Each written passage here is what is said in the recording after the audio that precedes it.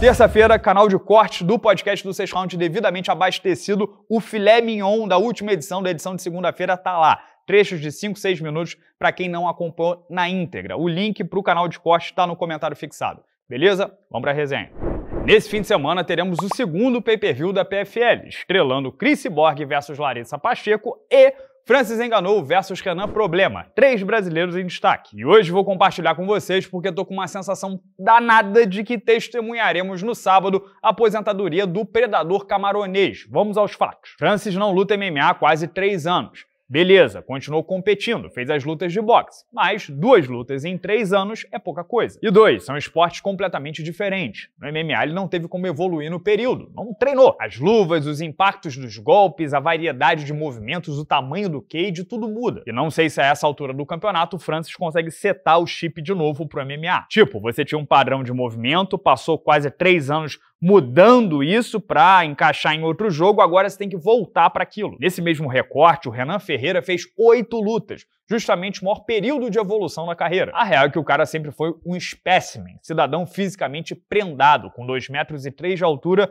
2 metros e 16 de envergadura e capacidade atlética muito acima da média. É basicamente um mamute que consegue virar pirueta, da mortal para trás. O que faltava era refinamento técnico, lapidar o diamante, e foi isso que ele encontrou na Flórida. Então, falando em pique, ritmo, ponto pro brasileiro, que ainda por cima é o maior adversário que Engano já enfrentou nesse esporte. Falando em momento, o Renan vem de quatro vitórias brutais por nocautes, todas dentro dos seis primeiros minutos de luta. O que ele fez em 20 segundos com o antigo campeão peso pesado do Bellator Ryan Bader pareceu até covardia. Ou seja, a moral, a confiança tá na lua, vem da maior série de resultados da vida. Por outro lado, mesmo considerando níveis de enfrentamento completamente distintos, Francis vem da maior humilhação profissional da vida. Vocês lembram, o Anthony Joshua o fez parecer um completo amador. Foram dois knockdowns e um nocaute com golpe simples, jab direto, sem burocracia, facilidade tremenda. Francis, na real, foi nocauteado duas vezes naquela luta. Conseguiu levantar na primeira graças à contagem e ao fim do round.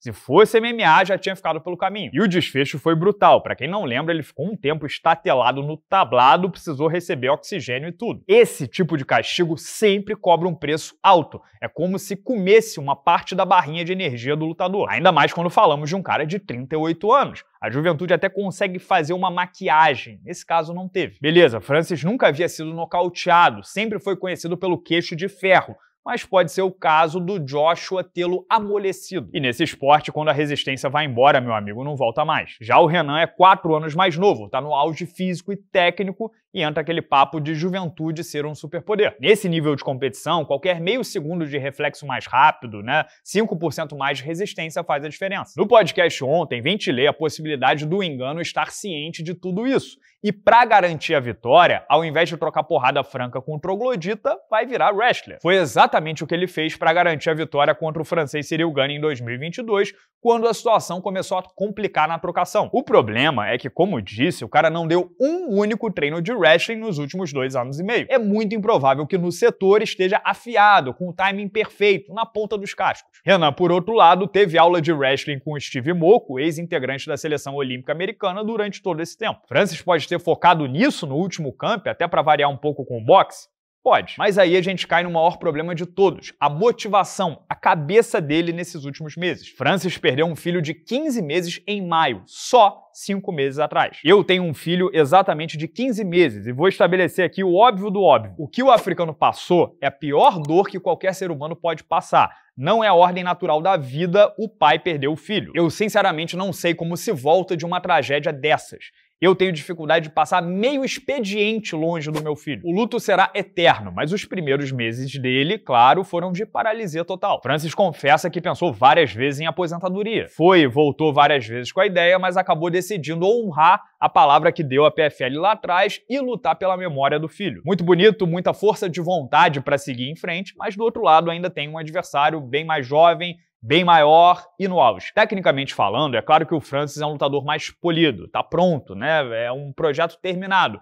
E o Renan ainda tem alguma margem para progresso. Por todo esse tempo dedicado ao boxe, imagino que as mãos do cara estejam rápidas e letais. E essa vai ser uma luta disputada em pé, não tem muito para onde correr. Ainda que o campo do engano não tenha sido dos melhores, também não imagino que o gás seja um fator complicador, porque essa luta não vai durar 25 minutos. Você sabe, eu sei, todo mundo sabe. Eles vão colidir e alguém vai cair logo. O meu ponto é que apesar do Francis ainda ser franco favorito lá na stake.com, nesse instante Renan é zebra na proporção de 3.15 para 1 tô achando que será aquela clássica virada de fio. Não sei se prevendo isso ou apenas jogando a responsabilidade pro outro lado, Francis disse o seguinte ontem no programa do Ariel Rawani, abre aspas. Aqui na PFL não luto contra nomes, luto contra talentos. Renan tem muito talento, é uma das lutas mais difíceis de toda a minha carreira me vejo como a zebra aqui. Sei lá, tô com a impressão de que o momento do Francis passou. Renan é encrenca demais para a atual conjuntura. E se eu tivesse certo, esportivamente falando, seria o fim do brilhante Francis Engano, que marcou época, foi um dos maiores pesos pesados de todos os tempos, chocou o UFC, chocou a princípio o mundo do boxe, mas que, a exemplo de todos nós, está sujeito à ação do tempo. Mas claro, esse é apenas o meu ponto de vista, os meus dois centavos. Vocês concordam comigo? Estão com essa impressão de que o Renan Problema vai deitar o favorito ou discordam completamente que o Francis Engano é o Francis Engano e vai dar um jeito no garoto, vai é, usar a experiência no boxe e deitar, nocautear fácil o brasileiro? Comenta livremente, quero saber a sua opinião. Deixa o like, por favor, para ajudar a gente com o algoritmo aqui do YouTube. E não perde a resenha de ontem, em que eu falei sobre a situação do Alexandre Pantoja, que tá na hora de abandonar o barco antes que ele afunde. Por quê? clica no link aqui que você confere. Clica aqui embaixo o link dos cortes do podcast do sexto round. Muito obrigado pela audiência de sempre, um grande abraço e até amanhã.